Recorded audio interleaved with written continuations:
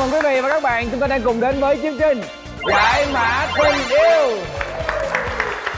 Quý vị thân mến, đây là một chương trình truyền hình thực tế kết hợp với loại talk show để mà chúng ta có thể à, bàn luận những câu chuyện liên quan tới tình yêu, cũng như là những cái tình huống dở khóc, dở cười trong chuyện tình yêu của các bạn nữ. Họ sẽ đến đây để mà trình bày cho chúng ta rằng họ đã từng yêu như thế nào hoặc là đang yêu như thế nào. Hãy cùng chào đón sáu gái xinh đẹp của chúng ta. Ngày hôm nay chỉ còn 6 cô gái thôi là bởi vì à, sau gần một năm lên sóng thì à, tất cả mọi người đều có cảm giác rằng là phía cánh mày râu của chúng tôi đang bị lép vế dữ quá. Cho nên là chúng tôi à, đã chơi một cái chiến thuật nó hơi kỳ. Quá à, tôi đã giảm số lượng người bên đây xuống. Bảo Trinh thấy lý là phải tăng nam lên. Tăng nam lên rồi ai nói ai nghe. Nhưng mà chính bởi vì điều đó ngày hôm nay Cánh mày râu phải quyết tâm lấy lại được cái vị thế của mình. Chúng ta hãy cùng chờ xem Ngọc trai và Bimax sẽ làm điều đó như thế nào quý vị nha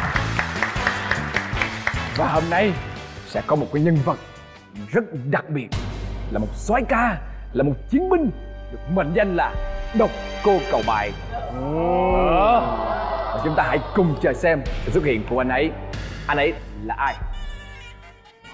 Ừ Cái tiếng gì? Ngọt người Scotland Người Thái Lan, người Thái Lan. Yeah. Hus. Kia rút về Hus. Hus. Hus. Yep. Hus. Yep. Một tràng pháo tay cho nhà vô địch thế giới Muay Thái Nguyễn Trần Duy Nhất. Xin mời Nhất anh đây ạ. À. Mời Nhất anh đây. Xin chào Nhất. Dạ, xin chào Các bạn cũng thấy đây là một gương mặt rất là quen thuộc đúng không ạ? Một người đã giành được rất là nhiều những cái huy chương ờ, trên thế giới của mình trong khu vực về bộ môn Muay Thái. Tuy nhiên rồi võ mà lúc nào cũng phải người cứng như thép tạc tượng gì đó. Sáu múi. Bây giờ Chị bạn muốn bạn muốn thì bạn nói tôi biết. Chị Trinh chị muốn coi muối Ờ. Phải Một mình Trinh thì nói làm gì Trinh đã từng quay và phỏng vấn anh Nhất rồi Trinh đã được thưởng thức hết rồi Thưởng thức hết Được rồi hả? rồi hả? Ủa, sao sao để cho người ta để cho người ta thưởng thức vậy? Cái lúc đó là là lúc đó là nhắc biểu diễn môi thái nên là À. mình ờ, mặc đồ của một vận động viên thi đấu cho nên À. khi mà một vận động viên môi thái lên thi đấu thì chỉ mặc mỗi chiếc quần đùi với là đeo găng thôi. Ừm. Thôi ngày hôm nay người ta tới đây người ta mặc đồ lịch sự rồi cũng bắt người ta khoe Đang muối nữa Trinh à. Rồi cảm ơn Nhất. Dạ. Rồi mời Nhất về chỗ ạ. Rồi. Ngày hôm nay tôi có đọc cô cầu bài rồi. Để xem chúng tôi sẽ tấn công lại phía bên kia như thế nào nhá. Và chủ đề ngày hôm nay của chúng ta sẽ được bắt đầu bằng một clip tình huống. Xin mời quý vị cùng xem clip ạ.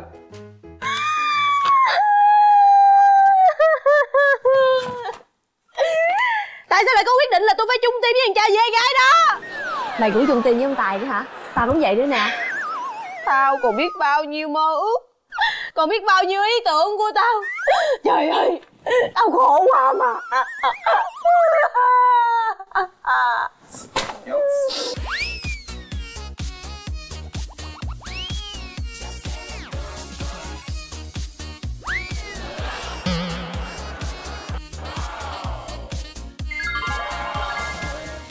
Ê, Lý tưởng của mày kìa.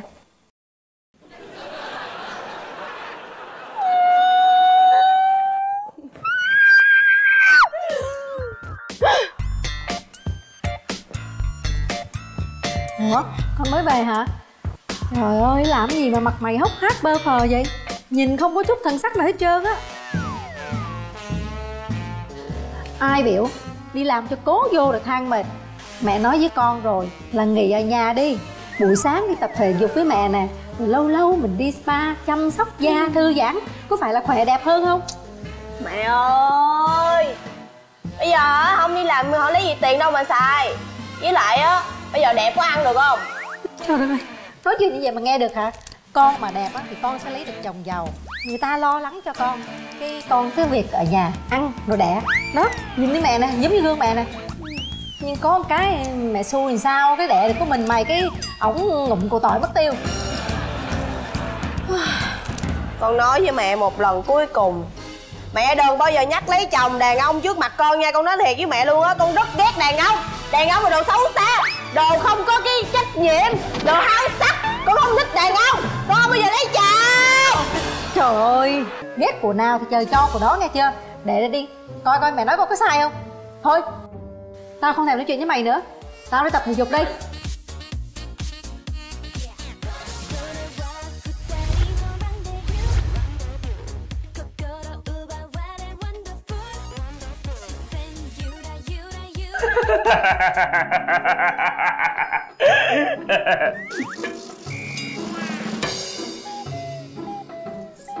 anh đang làm cái gì anh có làm việc được hay không thì để cho người khác làm. Nếu anh không làm việc được thì anh nghỉ đi. Anh đừng làm ảnh hưởng cái công việc đến người khác chứ. À, xin lỗi nha, tôi làm phiền mọi người. Nhưng mà thôi, mọi người đừng quan tâm tôi Mọi người ờ, cứ tự nhiên đi nha. Tôi không hiểu lý do tại sao anh có thể nói chuyện vô trách nhiệm như vậy á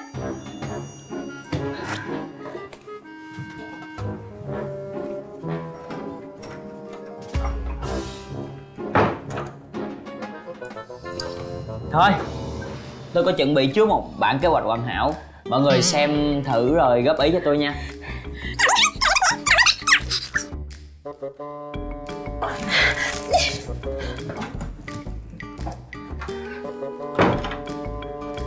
Thiệt là chịu hết nổi rồi. Bây giờ mọi người biểu quyết đi. Một là làm gì với tôi hai là ngược lại. Nè Trước khi phán xét người khác Thì cô phải tìm hiểu cho kỹ. Có biết chưa cô gái?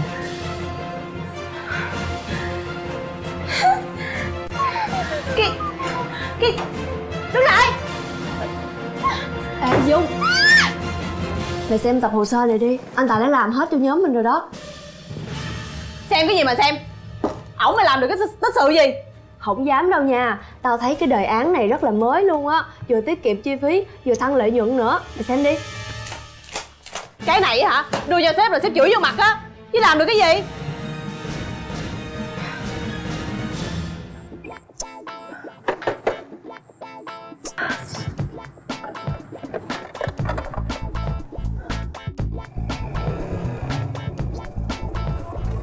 Cô có mò tới sáng á Thì nó cũng nghe lời cô đâu. Lên xe đi Tôi cho quá gian về nè. Không cần. Cái gì? Nhiều chuyện Vậy thôi tôi về. Ê tôi nói vậy về thiệt hả? Đáng mặt đàn ông không vậy? Có đáng mặt đàn ông hay không á Không đến được cô kiểm chứng. Ừ tôi hiểu mà. Thôi về đi. Ê vậy nói vậy về thiệt luôn á hả? Thì cô kêu tôi về mà Bây giờ cô muốn sao đây? Ủa tôi nhớ anh mê gái đó mà lại tôi mà ăn gái thì sao không mê đàn ông gì kỳ vậy? Nhìn ra coi.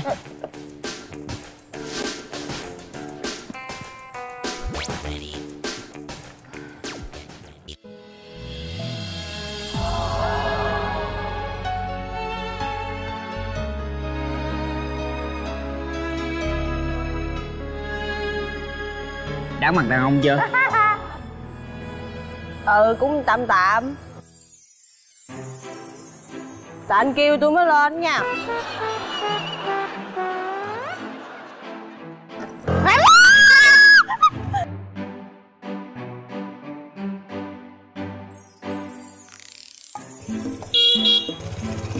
Lên xe đi Tôi cho quá gian nè. Để làm gì? Để tôi chở Dung đi. Đi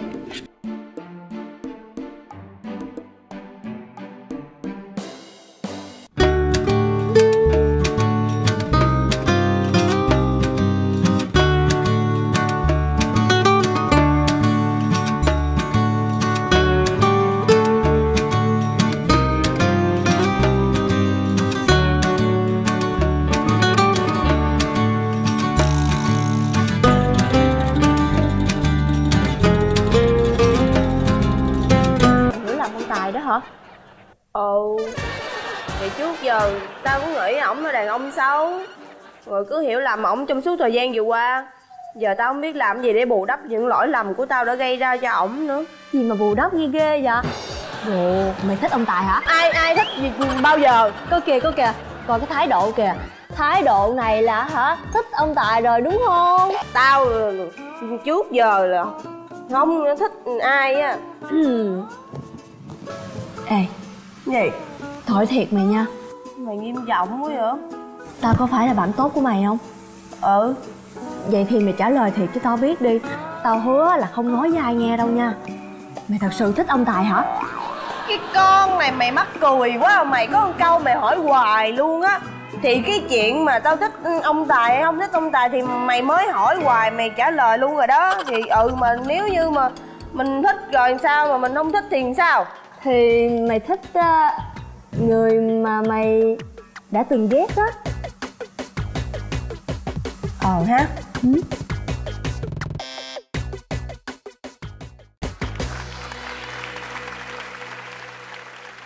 Không biết là à, các bạn thấy cái tình huống như rồi như thế nào? Có bao giờ là các bạn đã từng gặp một cái tình huống giống như vậy chưa? Nguyên nhóm đang họp hành rồi tự nhiên ngồi cười hả hả là có vấn đề rồi. Người ta cố tình tạo nét đó. Đúng không? Gây sự chú ý. gây sự chú ý đôi khi người ta để ý trước đó rồi nhiều khi là xe hư là do người ta làm luôn á. Hơi kỳ.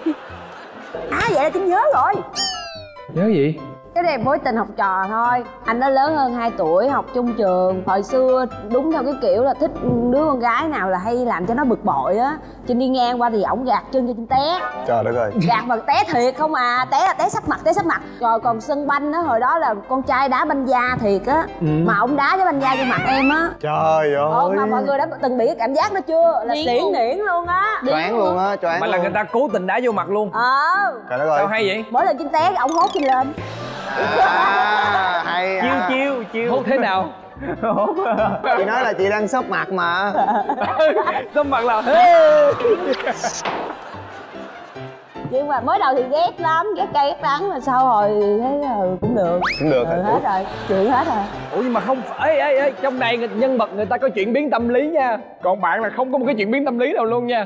Hay là tại vì cái chuyện đỡ lên đó mà.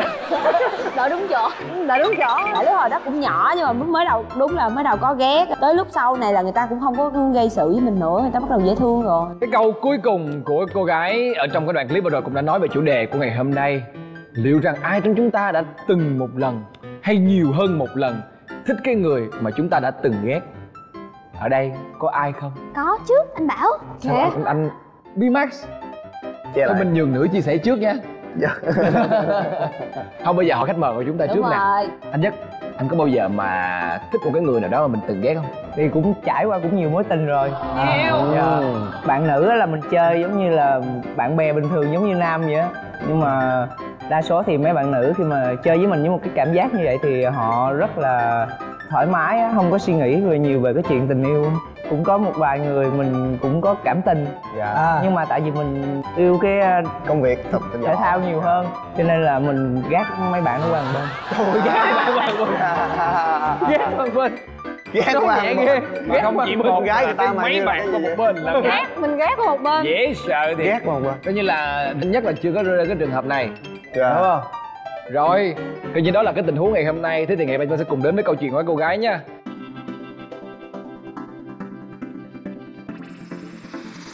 Câu chuyện đầu tiên là không yêu được nên ghét cho bỏ tức. Ai mà hằng học quá vậy? Em. chờ. Sao em luôn luôn lạ vậy mình. Cá tính câu, cá câu, tính. câu chuyện này là hồi xưa em đi học. Ừ. Mới đầu em cũng thích bạn đó nhưng mà bạn đó lúc sau cũng chơi chung nhóm luôn. Thì em, em có để ý thì là bạn đó có cái cách biểu lộ kỳ lắm giống như là chị trinh kể nãy á, nhưng mà bạn đó không có gạt chân em. Em thì em hỏi lúc hồi nhỏ em rất là ít ai chọc tại vì lúc kia lúc ke em ghét lắm. Nó chọc hoài nó đi theo nó chọc hoài nó đi theo nó chọc miết luôn. Cái một hôm cái em điên lên cái em cầm cái chổi em phan vào đầu nó. Em kiếm cái chổi đâu ra vậy? Tại vì em chật nhật em cầm cái chổi ai, ai biểu nó đứng sau lưng cái lúc này lúc kia xong rồi cái hồi nó em điên lên cái em phan giữa trường luôn. Cái hai đứa vô phòng giám thị ừ. Cái em đánh nó tiếp nhưng mà nó nó, nó không đánh lại em mà nó xin lỗi. Nó càng xin lỗi em càng đánh nó. Rồi Ủa rồi sau này dạ đúng em ghét lắm. Lúc đó lúc đó tự nhiên em đổi thành từ rất là rất là quý nó rất là thích nó nha. Tại vì nó cũng rất là vừa học giỏi vừa đẹp trai nữa. Xong nó chuyển thành ghét. Ghét một khoảng thời gian sau khoảng một sau thì sau này em biết nó là nó thích em nhưng mà nó biểu lộ kỳ quá mà lúc đó em cũng tính khí em mới lớn sao cũng kỳ nữa nên thành ra hai đứa cũng kỳ hai đứa cùng kỳ nên không có hiểu nhau. Thế các chàng trai, các chàng trai đã từng làm những cái điều gì để mà gây sự chú ý với đối phương? Anh trai? Trời ơi làm nhiều thứ gớm hơn nữa. Ví dụ? Hả? à bún dây vậy thiệt luôn hả? Thiệt. Có bỉ. Đúng thiệt luôn á Hồi xưa là bản thân mình là tự nhận mình luôn là một người cực kỳ thô bỉ Thô bỉ ở ở cái mức độ mình có thể thô bỉ ở bất cứ đâu á. Có một lần cũng cũng như là thích chọc cái đó kiểu kiểu như vậy á. Giỡn giỡn làm sao lúc mà chọc á mà người ta dí mình cũng biết là mình chuẩn bị chạy á. Quay qua mặt đập vô tường cái bóp không có lủng lỗ. Máu chảy quá trời luôn nhưng mà vẫn đi vô phó giám thị chọc bà giám thị. Rồi xong cái hình như là lần đó là tôi bị đình chỉ học 3 ngày. Tại vì là chọc giám thị. Ủa là thích giám thị à không tại vì là không thích không thích là là cứ chọc chơi vậy đó. À. cuối cùng cái bị phạt. Ủa rồi liên quan tới chuyện của con gái? chuyện nam nữ thì sao? Thì nãy giờ tôi đang đá lộn đề. Đây. học trai xàm quá à. rồi ok anh nhất. Ừ, thì uh, thực sự thì lúc ờ, còn nhỏ thì rất là nghịch đó là mình hay có mấy trò mình bắt cái con thằng lằn á bỏ vô trong những vỡ đồ á của người ta cái người ta mở ra bắt dục văng luôn. La lên sợ hãi là mình là thích thú. Giống như mình phải chọc cho mấy bạn đó rồi như là sợ hãi á rồi mình là thích. Nhưng mà có thích người ta không? Mình thích nghịch bạn vậy thích quậy đó. Cảm giác ngày hôm nay hai người này ngồi kế nhau có lộn đề hai người luôn hay sao? Ý là mình có làm cái gì để mình ấn tượng với người ta không bi max dạ có. Anh phải đúng đề nha. Anh phải đúng đề nghe chưa không phải đánh lay nghe chưa nhưng mà ở đây là có hai cái trường hợp. Nếu mà cái người đó em thích thật sự thì em gây người, cho người ta sự ấn tượng bằng cách là nếu mà như trong hồi cấp 3 đi thích người ta là mình sẽ lại mình sẽ mua quà mua bánh mua nước gì đó mình trả lại mình tặng gọi là mình thích. Còn cái người mà mình không thích á thí dụ như là cái người mà không thích nhưng mà vô tình sau này hai đứa lại thương nhau là ghét nhau mà ngồi sát bên nhau để viết bài xem đụng tay nè cho nó quẹt cho tập nó chơi. Nó ghét lắm em cũng ghét nó lắm. Bao gai vào cứu luôn trời ơi đi học bàn mà kẻ cái phấn này nè kẻ ngang này nè. Bàn này bàn tao bàn này bàn mày nha. Mày đụng qua tao hốt mày đó. Mà mình là lúc nào cái đầu gối mình Có cũng còn phấn không? Không ý là mình vẫn thương nhau sau này là thương nhau đó. Ghét nhau xong rồi tự nhiên lại thương nhau nó lại có một cái cảm giác hay lắm á thú vị lắm. Hồi đó cái chỏ lúc nào cũng bị dính phấn. Mà làm gì mà em lại được cái chuyện biến tâm lý đó? Từ tự nhiên tới lúc đó tự nhiên cô ấy tốt tốt hẳn ra bình thường là cái gì cũng mét anh hiểu không? Mét bài xong tự nhiên một ngày nọ cái mình quên làm bài xong cái làm bài chưa? Chưa. Tưởng lên mét cô. Chép đi. Đưa tập chép đi. Trời ơi.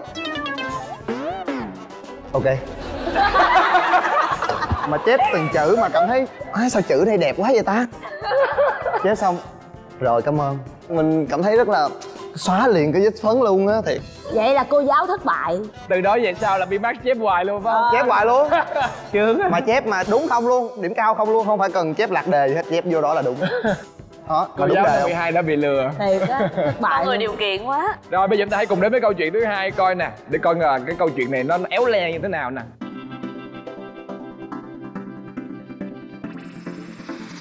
Người con trai khiến các vệ tinh khác e sợ à. Đây là cái mẫu người mà bạn nào ghét xong rồi thích vậy? Đúng rồi. Đây là câu chuyện của em hả? anh không bất ngờ đâu. Em kể đi. Dạ em xin được phép kể câu chuyện của em. Ờ, câu chuyện này là hồi đó em đi học cấp 3 Em gặp một cái bạn giống như anh Max vậy á Là rất là quậy mà tự nhiên ờ, cô sắp cho ngồi kế. Hồi đó em được phân làm cái lớp phát kỷ luật Thì ờ, xong rồi em á là em được một cái rất là thông minh ở điểm là Mình sẽ ghi lén lút và mình nộp cho cô lén lút để cho các bạn trong lớp đều yêu thương mình và không ghét bỏ mình. Cây kim trong một có ngày lời ra, thì một hôm đó, em vừa canh nó đi ra khỏi cái cửa đó, đúng không? Em móc sổ em ghi liền. Tự nhiên em đang ghi ghi ghi thì nó đi từ cái cửa kia, nó đi vòng phía sau vô. Và đó là lớp em có hai cái cửa. Cửa này cửa này có thể vô hai cửa. Nó giật cuốn sổ em anh. Nó giật em hết hồn luôn nó ê, trả đây. Không là em mấy cô. Cái nó là không trả trời ơi nó lật ra từ những ngày đầu anh nó nói mày ghê ha. Nó khám phá ra được bí mật của em là trời ơi cái nào cũng có tên nó cái nào cũng có tên ghét nhất cái dạng này luôn á Ờ, thời gian luôn. đúng không? Em học chung với anh anh thề với em luôn á thiệt luôn á. Ghét nhất là cái gì mà im im mà mét. Đúng không? Đúng không? Anh ghét kiểu vậy đúng không? Ừ, anh em ghét ghét cái kiểu như anh smart vậy đó. Nó xé anh bắt đầu nó xé nha. Nó xé nó cầm cuốn sổ nó xé rẹt rẹt rẹt rẹt như xé giấy số vậy đó. Nó xé hết luôn trời ơi, em tức mà. Lúc đó cảm thấy là tức mà tức nó lên tới đây mà không biết làm thế nào tại vì đánh là đánh không lại rồi. Em chỉ em rất là giỏi mét thôi. Xong rồi em mới nói là giờ có trả không? Không trả là mét cô lần này là mét là thế nào cũng bị tội nặng thế nào cũng bị mời phụ huynh. Cái nó quăng cuốn sổ lại cho em vậy nè. Thấy nó kỳ đúng nó không? đang làm cho anh hả dạ. Ừ nó quăng lại nè. Nó nói nè đó bây giờ cái sổ trống trơn rồi đó nộp cho cô đi nộp đi nộp đi. Cái- em bình tĩnh lại em phải suy nghĩ một cái phương án thông minh hơn. Nó về chỗ rồi xong rồi em canh cái tiết là buổi chiều là cô chủ nhiệm của vào cổ họp lớp. Thì khi mà cô bước vô là em nhanh chóng nhanh tay em ghi lại tất cả các tội lỗi của nó. Xong rồi em mới nộp cho cô. Sau khi mà cô cô cầm cái cuốn sổ đó thì cô nói là ủa tại sao minh lại vi phạm nhiều như vậy? Mà cái vấn đề này tôi đã họ em nói tên nó rồi. À, à, mà sao? Em xin lỗi. Cắt nha đừng có nói toán nha. À, à, tại sao tại sao là bạn ấy lại vi phạm nhiều vấn đề như vậy? Cái chuyện này là tôi đã họp lớp với em với lại phụ huynh em là cách đây mấy ngày rồi. Tại sao em quá lì lợm như vậy? Em kéo thi đua của lớp đi xuống. Tôi không đồng ý nữa. Bây giờ tôi sẽ mời phụ huynh của em trong chiều nay liền em nhìn qua mặt nó đỏ anh, em bắt đầu em sợ sợ, em run run rồi đó. Mặt nó, mặt con trai mà tức, mà mặt tới đỏ mặt là anh biết là nó tức em tới cỡ nào, anh biết nó nó ghim em anh. Em cảm thấy run sợ, đầu tiên trong cuộc đời em cảm thấy run sợ. Cái em nói là, cô ơi, con sợ quá, bây giờ con mà bạn nó quá tức con rồi, bây giờ con lỗ như vậy rồi thầy cô cho con từ chức, con không làm chức này nữa, con quá sợ các bạn. Cái xong rồi nó, không sao đâu, nó mà làm gì con thì nó chết với cô. Chỉ một câu đó thôi, em cảm thấy yên tâm em vẫn vui vẻ đi về xong rồi nó, nó chặn đường em thiệt anh. Nó chặn em ở dưới cái bãi xe đạp á nó nói là ê mày gan ha mày gan ha bữa nay tao khỏi cho mày về nhà ăn cơm luôn. Cái xong nó ủa, mày làm gì tao? Tao thách mày á, cô nói hả? Mày đụng tới tao là mày chết với cô nha con. Cái xong rồi nó nói là ừ mày ghen lắm con, mày ghen lắm con. Xong nó cười, nó đi về. Là em cảm thấy, ủa, thằng này tâm lý hơi bị lạ. Đáng lẽ khúc này là nó phải đập em bầm dập chứ tại sao tự nhiên nó cười cười mà cái kiểu như là cười cái kiểu mà thích thích đó cười cái kiểu con này có cái tính này hay quá ta. Sau đó giờ chưa đứa nào làm với mình như vậy? Thằng này nó kiểu là đầu gấu trong lớp mà đứa nào cũng phải sợ mà tại sao có một cái con lạc loài không sợ mà lại thách thức nó như vậy? Nên là nó cảm thấy là phấn khích trong lòng á. Xong rồi qua ngày sau thì mua nước ngọt cho uống luôn ghê ghê không? Rồi bắt đầu có những cái sự quan tâm đồ. Mà nó mua em uống luôn. Ừ này mua nước ngọt này kia kỳ kỳ rồi đó kỳ kỳ. Xong rồi cái một ngày nó viết thư anh? Đại loại là nó thích thích em. Nó đẹp trai không? Thì cũng được cũng được nhưng mà trong lớp ai cũng sợ nhưng mà cái cảm giác mà khi mà có một người mà đứng đầu lớp mà bảo vệ mình á mà không ai dám đụng tới mình có nghĩa là đứa nào đụng mình là sẽ chết với nó giống như vậy á Rồi kể từ đó cho đi rồi em có viết cái lỗi nó nữa không? Biết cái đầu mua nước ngọt vô uống nữa thôi rồi cuối cùng mà hai bạn có thích nhau không? Đó nhưng mà âm thầm thôi. Bạn Minh á, bạn Minh. âm thầm thôi. Bạn minh đó hả? Quay quay một quay à, được được. Quay một miếng thôi quen ít ít à quen miếng à. Nói chung là đã từng ghét như vậy và Ừ. cuối cùng là là thích nhau. Đúng rồi.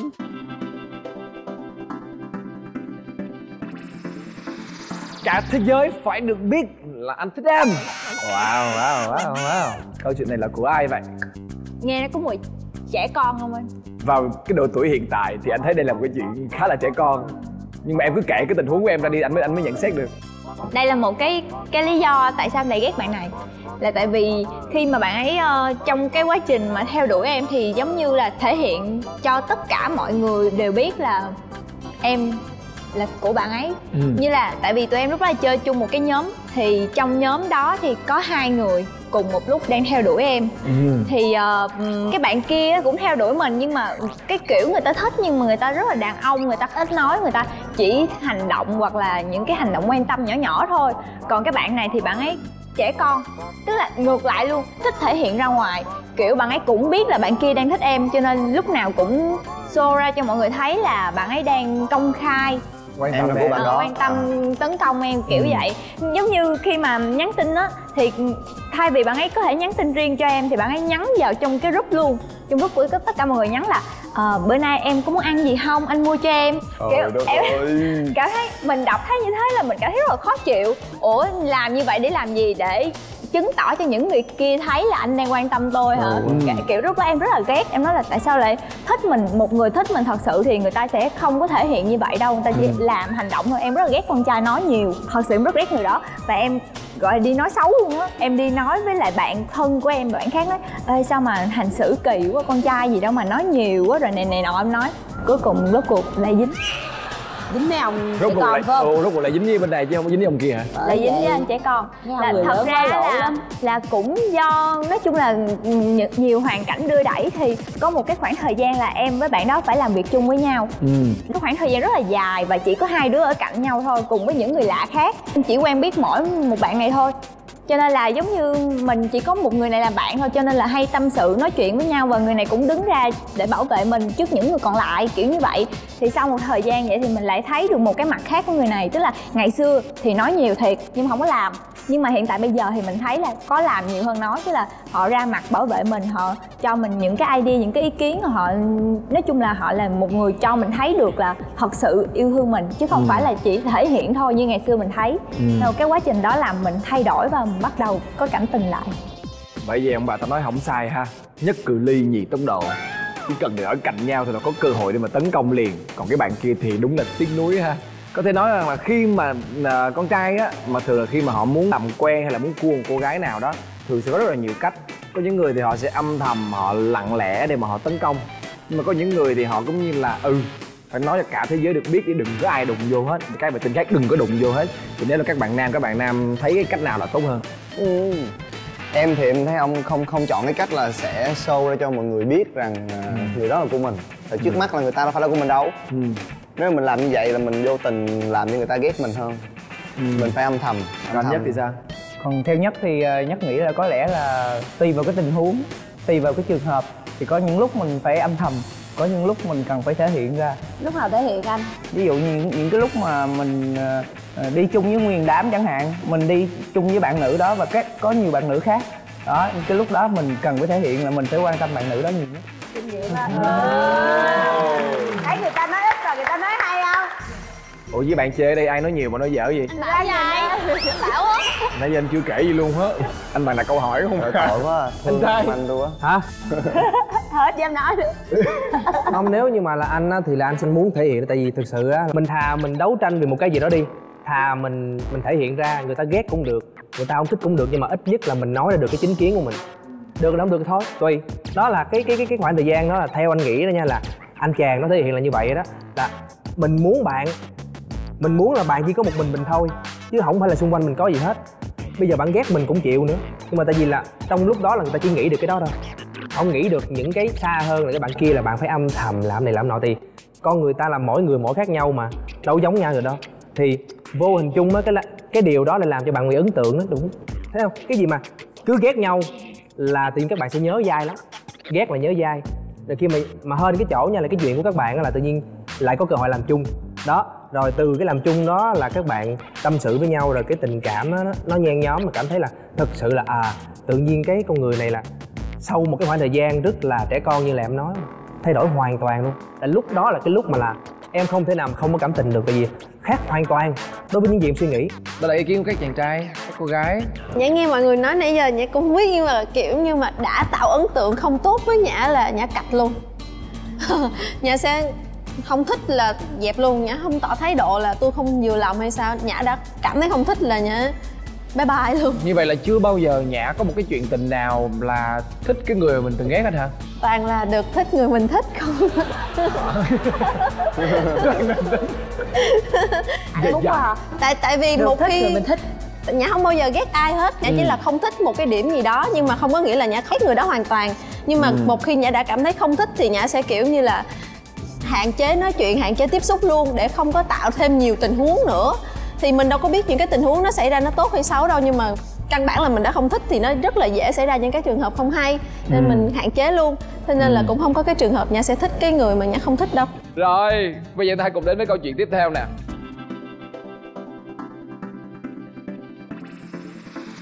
Vẻ bề ngoài không nói lên tất cả. Đây là câu chuyện của ai? Chắc đây là câu chuyện của em á à, thì ở đây là em không có đến nỗi là ghét cái bạn này lắm. Chỉ là trước đó là em chỉ biết bạn này qua facebook và qua những người bạn đồng nghiệp này thôi. Thì người ta cho mình một cái ấn tượng là hơi kiểu trẻ con chứng tỏ bốc đồng. Thì đó là một cái kiểu mà em thật sự là không thích lắm ở một người đàn ông. À, không phải gu luôn. Sau một thời gian thì lại có một cái cái dịp là em phải làm việc với các bạn này. Thì cái ấn tượng đầu tiên nữa chứ là bạn ấy bước vào trong cái phòng làm việc. Mình chào bạn ấy hay là bạn ấy lại phớt lờ cho em ăn trái bơ đó thì em thấy kỳ cục vậy trời. Mình đã chủ động chào hỏi trước mà rất là lịch sự rồi mà mình không có nhận lại được một lời chào. Thấy hơi hơi khó chịu rồi. Tại vì mình đã có ấn tượng không tốt trước đó xong cộng thêm nó nữa.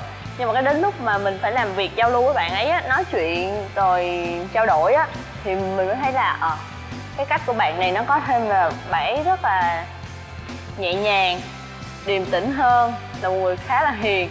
So với những cái gì mà mình thấy trước đó qua cái phong cách của bạn đó hay cách cư xử cách thể hiện thì lúc đó em mới giảm được cái ấn tượng xấu về các bạn đó luôn. Thì lúc đó mình cảm thấy ồ tự nhiên em thấy thấy có một cái cảm tình tốt rồi chứ nó xoay hẳn qua 360 độ như vậy luôn á. Thì sau rồi về bạn ấy cũng add facebook rồi nói chuyện. Lúc đầu thì cũng nói chuyện bạn bè bình thường qua lại thôi nhưng mà sau một thời gian nói chuyện nhiều hơn hiểu hơn thì lại có cảm tình và sau đó thì cũng cho nhau cơ hội tìm hiểu.